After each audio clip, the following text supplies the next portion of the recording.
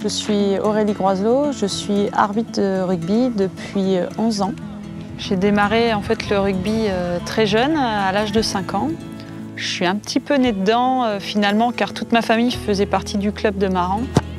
Mon père a été joueur pendant de nombreuses années, ma mère est toujours éducatrice au sein du club depuis euh, bientôt 30 ans. Donc c'est la plus vieille éducatrice du club.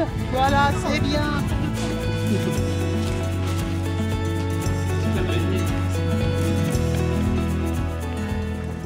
Ça, c'est quand vous étiez à, à La Roche, Oui, quand on a été championne de France. championne de France à La Roche, là, avec l'équipe de France.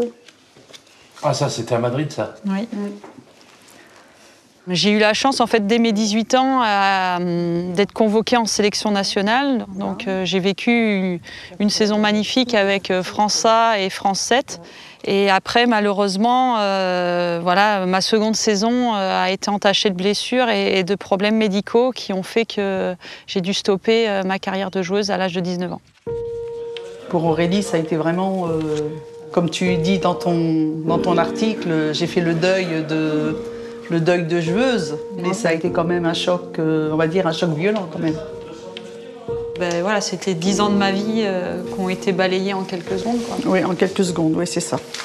Et puis euh, voilà, un jour il y a eu un déclic et, et je me suis dit que, que finalement, euh, ce que j'aurais pu connaître en tant que joueuse euh, au niveau international, il y avait peut-être cette porte qui pouvait s'ouvrir avec l'arbitrage et qu'il fallait en tout cas que je tente ma chance. Moi, je sais Ah oui. même pas comment elle a fait, quoi, parce Voilà. que. Puis elle a quand même sa vie de famille aussi, quoi. Il y a la Voilà. vie de famille, La vie de famille, les- l'exploitation, euh, il y a les- tout, quoi. Les responsabilités Mais- qu'elle a à côté aussi. Elle- Euh, sans le soutien de ma famille, euh, j'aurais pas pu faire les, les sacrifices et avoir la disponibilité pour mon sport comme j'ai pu l'avoir euh, depuis ces dernières années. quoi. Aujourd'hui, euh, mes absences à la ferme, euh, je serais dans une autre entreprise, on ne me permettrait pas de partir comme j'ai pu le faire. Donc là, on rentre au cœur de, de l'élevage. On est dans des volières euh, traditionnelles où les pigeons euh, peuvent voler, sont autonomes et, euh, et produisent par eux-mêmes. Donc là, en fait, chaque, couple a deux nids. On a l'exemple ici, en fait.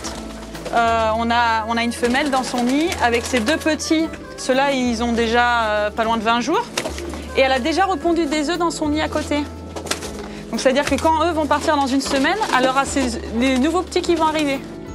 Quand je suis au milieu de mon élevage euh, ou sur un tracteur, euh, je suis pas arbitre de rugby. hein. Là, tout le monde s'en fiche. que je sois précurseuse ou pas euh, du milieu de l'arbitrage, ça permet euh, de rester les pieds sur terre et, de continuer à avoir un quotidien de monsieur et madame tout le monde. C'est nos filets de pigeonneaux. On va dire plus fin que le, ceux qui mangent du magret de canard.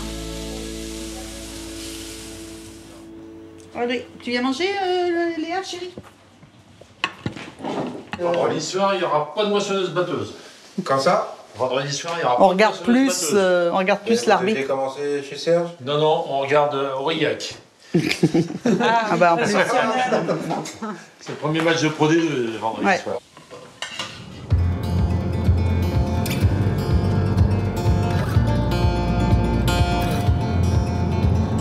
Va euh, à Aurillac euh, pour euh, mon premier match de Pro D2. Le stress monte un petit peu quand même. Normalement, c'est d'être là 1h45, 2h avant. Donc euh, tant pis, on a un petit peu de temps devant nous, mais je préfère ça que, que d'être dans la précipitation. quoi. les vestiaires arbitres sont de l'autre côté. Bonjour. Bonjour. Aujourd'hui, euh, il y a un peu plus de monde, un peu plus de, de choses à gérer, mais euh, finalement, euh, après, quand le match va démarrer, ça sera un match de rugby avec 30 acteurs comme d'habitude, ça n'a rien qui change. Faire ce que je fais d'habitude et, et le faire bien, ça sera, ça sera déjà hyper positif. Votre capitaine m'a dit que c'était le numéro 2 qui ferait le relais. Ils sont plutôt contents en fait de voir un visage féminin arriver sur un terrain. Donc euh, je trouve plutôt les regards euh, de manière plutôt hyper positive en disant enfin on voit une femme à ce niveau-là, donc euh, maintenant à moi de faire le job pour qu'ils aient encore le sourire à la fin de la rencontre. On a été euh, prévenus euh, par le coach, ça nous a fait euh, ni chaud ni froid. On respecte euh, autant, une arbitre qu'un arbitre, donc euh, ça reste euh, le même job et le même respect vis-à-vis de l'arbitre. Avec beaucoup de satisfaction parce qu'aujourd'hui euh, je suis seulement la deuxième femme à avoir atteint ce niveau-là, donc euh, c'est pas simple d'y aller. Et du coup il faut quand même profiter de ce moment et y prendre beaucoup de plaisir.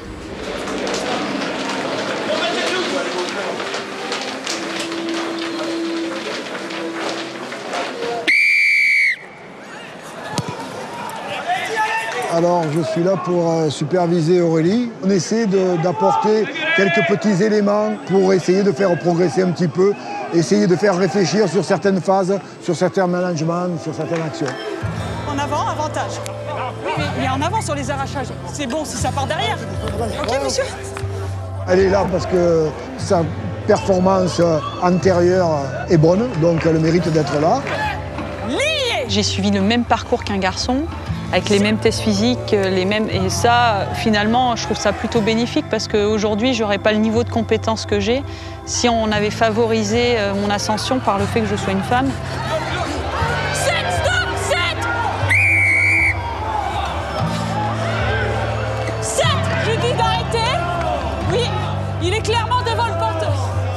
On est clairement au cœur de la partie, comme le joueur, lui, peut prendre le plaisir de, de jouer avec le ballon. Finalement, nous aussi, on, on participe clairement au jeu.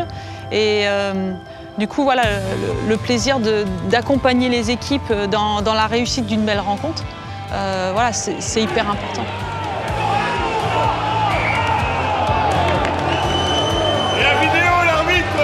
C'est aussi ça qu'elle va devoir apprendre à gérer, euh, c'est la pression d'un stade. C'est l'apprentissage.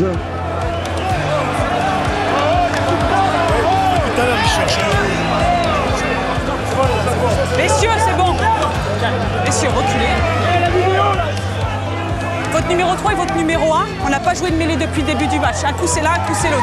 Soit ils trouvent une solution, soit c'est moi qui vais la trouver. Là, on repart sur la pénalité. Votre numéro 1, il est en travers et il remonte le 3.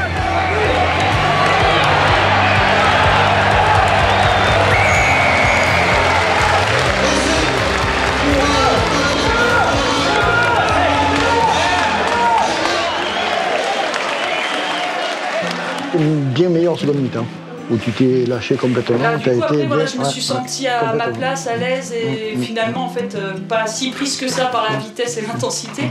T'as prouvé très bien que tu avais largement ta place. Va te doucher. Bravo. C'est bien. Je me dis que toutes les barrières que je franchis serviront à l'avenir en fait euh, aux autres féminines, c'est-à-dire qu'elles, elles n'auront pas à casser les portes que peut-être qu'on va casser aujourd'hui et, ça, je trouve ça plutôt positif. Voilà. Donc, je le vois pas comme une charge supplémentaire ou, ou quelque chose. Euh, je continue juste à être qui je suis et à poursuivre mon chemin du mieux que je peux.